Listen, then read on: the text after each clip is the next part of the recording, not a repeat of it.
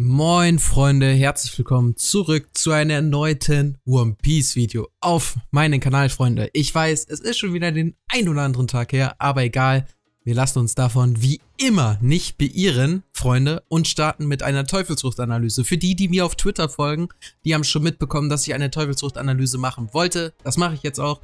Und äh, ja, in nächster Woche, also zum nächsten Wochenende, geht es dann wieder regulär mit One Piece Videos weiter. Das heißt, bis nächste Woche kommt dann erstmal kein Video, aber halt nächstes Wochenende. Ihr, ihr wisst, was ich meine. Komm, starten wir mit der Teufelsfrucht-Analyse und zwar, wie ihr in Thumbnail und Titel bestimmt schon gesehen habt. Es geht um die Teufelsfrucht von Rob Luki, beziehungsweise Leo, seine Leopardenfrucht, seine Suan-Teufelsfrucht. Denn Rob Luki hat eine Suan-Teufelsfrucht gegessen, keine mystische Suan, auch keine antike Suan, sondern eine ganz normale Suan-Frucht. Jetzt denkt man erstmal, ja, die Frucht ist auch relativ lame äh, und dass es dazu nicht so viel zu erzählen gibt. Das ist äh, nicht so. Also ich finde, gerade Rob Luki hat sehr viel Potenzial und dementsprechend dachte ich mir, wenn es um eine normale Soan-Frucht gehen sollte in einer Analyse, dann um seine Teufelsfrucht. Und am Ende dieser Analyse werde ich auch nochmal eine kleine Theorie von mir präsentieren, die ich für äußerst wahrscheinlich halte in Bezug auf Rob Lukis Zukunft und in Bezug auf seine Kräfte. Aber wir fangen erstmal ganz normal mit der normalen Analyse an von den Dingen, die wir wissen. Teufelsfrüchte sind ja sehr verschieden. Soanfrüchte sind so mit den Teufelsfrüchten wohl oft als die schwächste Teufelsfruchtart benannt, aber es gibt doch schon ein paar Teufelsfruchtnutzer mit Soankräften, die herausstechen. Das heißt, man hat halt, ähm, ja, die Soanfrüchte, die keine direkte Kraft verleihen, die einen direkt boostet. Das heißt, wenn man eine Logia-Frucht beispielsweise gegessen hat, ist man sofort auf einem enorm hohen Level, weil man ja beispielsweise direkt das Element beherrschen kann und man wird zu diesem Element, man kann auch nicht mehr normal angegriffen werden. Das heißt, man kriegt sofort einen Boost an Kraft. Bei Paramecia-Früchten ist es oft auch so, nicht immer. Beispielsweise Ruffys Frucht hat ja auch sehr, sehr viel Training gebraucht. Aber bei Suan-Früchten ist es so, dass man immer, also beim normalen Suanfrüchten, dass man immer enorm viel Training braucht, damit die Teufelsfrucht auch wirklich seine Kraft entfalten kann, beziehungsweise damit man überhaupt einen Nutzen daraus ziehen kann. Denn wenn man kein Training hat, keine Kampferfahrung, dann bringen die normalen Suanfrüchte eher weniger. Klar, bei mystischen Soanfrüchten, wie jetzt zum Beispiel bei Marco dem Phönix, da ist das nicht so, weil er regeneriert sich so oder so. Ob er das jetzt trainiert hat, das halte ich für relativ unwahrscheinlich. Deswegen ja, aber kommen wir nun erstmal zur Person Rob Luki. Rob Luki ist schon in enorm jungen Alter zur Weltregierung gekommen und schon mit 13 Jahren hat er allerlei Techniken beherrscht, die den Kampf verbessern. Sprich, verschiedene Fähigkeiten zur Verteidigung, zum Angriff und so weiter und so fort. Wir kennen ja auch seine Vergangenheit zum Teil und dort hat er uns schon gezeigt, dass er sehr, sehr stark ist, auch ohne eine Teufelskraft. Im Enis Lobby Arc war es dann allerdings so, dass er uns seine Teufelskraft gezeigt hat und ja, wir hatten einen der heftigsten Kämpfe überhaupt, beziehungsweise Ruffy hatte einen seiner heftigsten Kämpfe überhaupt gegen Rob Luki und damals war es auch definitiv sein stärkster beziehungsweise sein härtester Kampf, den er hatte. Für viele Leute ist das ja sogar noch der epischste Kampf überhaupt, aber das zeigt halt einfach, wie krass das eigentlich ist. Und da Rob Luki aktuell in der CP0 ist, das heißt, er wurde ja von der CP9, die wurde ja dann quasi aufgelöst und er ist jetzt in der CP0. Er wird immer wieder thematisiert, man sieht ihn immer wieder auf aktuellsten Stand und das garantiert für mich auch, dass Rob Luki definitiv nochmal ein Comeback feiern wird. Definitiv wird Rob Luki nochmal mit seiner Leopardenfrucht ein Comeback feiern. Wir haben ihn ja auch in One Piece Film Gold gesehen. Wir haben ihn jetzt im aktuellen Anime-Stand von ein paar Folgen, also was heißt ein paar Folgen, es ist schon ein bisschen länger her, aber da haben wir ihn auch gesehen und er wird definitiv nochmal einen Kampf bekommen.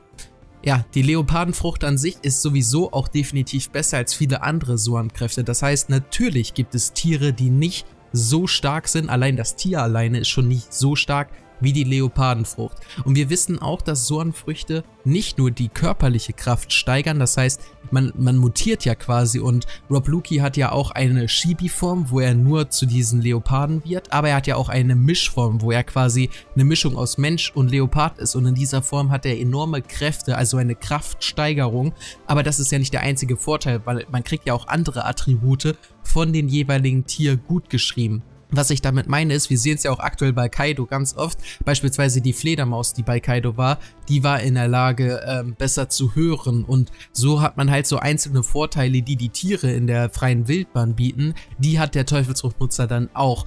Bei Rob Luki grob zusammengefasst, klar, er hat scharfe Krallen, er hat scharfe Zähne, die hat er auch benutzt. Das ist eher so nebensächlich, weil auf aktuellsten Stand ist das nicht mehr so relevant, aber es ist halt ein Faktor. Er hat einen Schwanz, mit dem er ja beispielsweise den berühmten Move gegen Ruffy gemacht hat, wo er ihn mit dem Schwanz so festhält und dann seine Attacke gemacht hat auch ein Vorteil in dem Sinne, aber nicht so groß. Ich gehe auch stark davon aus, dass seine Sinne besser ausgeprägt sind, sprich Hör- und Geruchssinn sind bei Leoparden besser ausgeprägt als beim Menschen.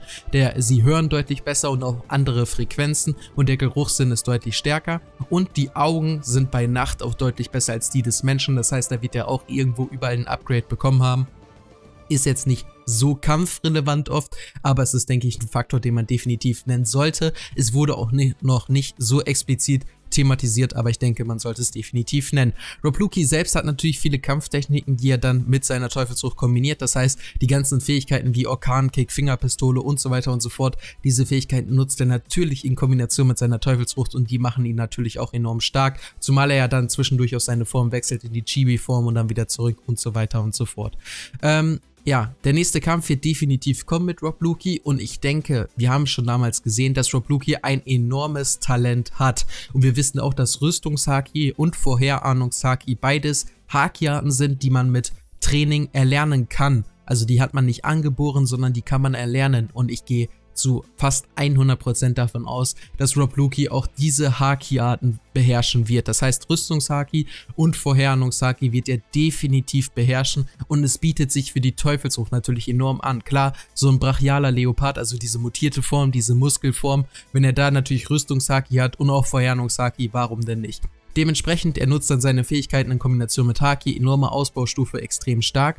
Aber ich möchte jetzt mal die Theorie ansprechen, die ich eben kurz erläutert habe. Das ist für mich der der entscheidende Faktor. Und hört mir erstmal bitte bis zu Ende zu, damit ich die Theorie erläutern kann, weil sie hört sich im ersten Moment ein bisschen komisch an, aber ich denke, es wird eine ganz coole Anspielung sein. Und zwar, bei Leoparden gibt es ein rezessives Gen. Wer man Religion, äh, in Religion, wahrscheinlich in Biologie aufgepasst hat, der weiß, ähm, dass rezessives Vererbungsgut quasi ja, das Passive ist, also nicht das äh, dominante Gen. Es gibt dominant und rezessiv.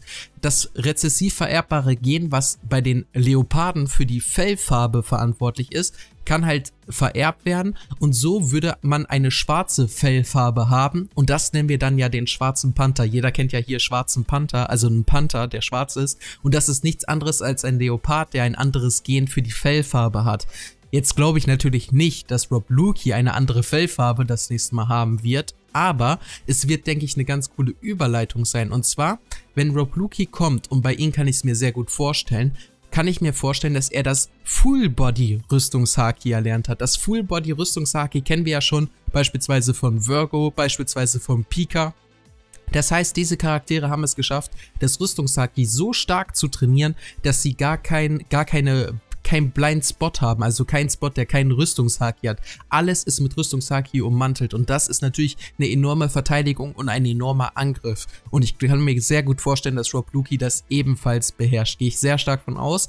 Und es, es, ist ja immer so ein One Piece, da haben die ganzen Formen auch so einen Namen und das kann ich mir bei Rob Luki halt enorm gut vorstellen, dass man das dann Black Panther nennt, also quasi schwarzer Panther, weil er, weil ja Rüstungshaki auch schwarz dargestellt wird. Ich halte das für enorm wahrscheinlich, weil diese ganzen anderen Formen, die sind halt immer so benannt. Beispielsweise bei Ruffy ist es ja genauso. Wenn er in den Gear 4 Snake Man geht oder in den Gear 4 Bounce Man, dann ist das ja auch ein Name für diese Form. Und das passt halt immer dazu. Und bei ihm wäre es quasi auch eine Überleitung, so schwarzer Panther. Natürlich ist nicht das Fell anders, aber dadurch, dass es Rüstungshaki da drüber ist, sieht es halt so aus. Und dann könnte man diesen Modus so nennen. Ich denke, dass sowas wird definitiv mal passieren. Ähm, und gerade Rob Luki mit Full Body Rüstungshaki, Leute, das kann ich mir enorm gut vorstellen.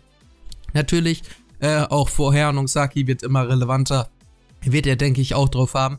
Ob das jetzt auf so ein Level ist wie bei Ruffy oder wie bei Katakuri, halte ich für unwahrscheinlich, aber man darf es auch nicht unterschätzen, denn er ist nun mal bei der CP0. Die CP0 ist nun mal enorm relevant und enorm stark und so wie sie präsentiert werden, werden sie auch noch einen deutlichen Einfluss haben. Deswegen, man sollte es nicht unterschätzen, aber ich möchte an der Stelle nur sagen, dass er beides enorm krass beherrscht, ist dann vielleicht doch noch ein bisschen zu hoch gegriffen.